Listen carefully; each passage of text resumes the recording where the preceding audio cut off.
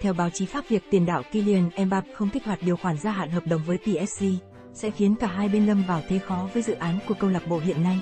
Mbappe ký hợp đồng gia hạn với PSG đến tháng 6 năm 2024 kèm điều khoản gia hạn thêm một mùa đến tháng 6 năm 2025.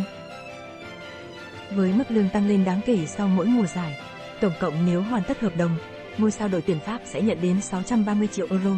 Mbappe có thể chia tay PSG trong mùa hè 2024.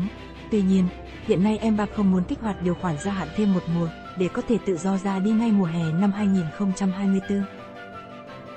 Trong trường hợp này, cầu thủ 24 tuổi này sẽ được quyền đàm phán với câu lạc bộ mới.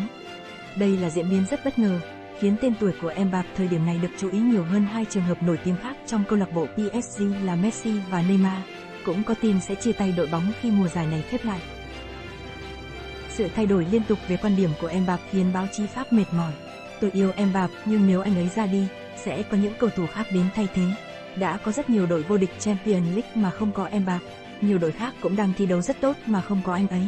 Nhiều cầu thủ hoàn toàn có thể thay thế anh ấy nhà báo Daniel Violo của kênh AMC nhận xét. Mbappe đang có rất nhiều quyền lực tại PSG AFP trước đó Mbappe được cho đã cam kết ở lại PSG lâu dài và sẽ kích hoạt điều khoản gia hạn nhằm giúp đội bóng thực hiện dự án mới xoay quanh anh, sẽ không còn tập trung vào Messi và Neymar nữa. Thế nhưng, nỗi ám ảnh đánh mất Mbappe tiếp tục quay trở lại. Theo tôi, PSG nên chuyển nhượng cầu thủ không còn muốn gắn bó nữa. Đừng để những cầu thủ cứ nghĩ mình là vua và thao túng mọi quyền lực ở hậu trường, tác động đến cả việc chọn huấn luyện viên, giám đốc thể thao nhà báo Daniel Violo phản ứng. Dấu bé break, trong khi đó, một cựu cầu thủ của PSG khác là Jerome Radon đánh giá Mbappe rời PSG mà không phải trả giá sao, sẽ rất kịch tính. Đội bóng còn một năm để thuyết phục cầu thủ này thay đổi suy nghĩ và tìm cách giữ chân cầu thủ xuất sắc nhất của mình.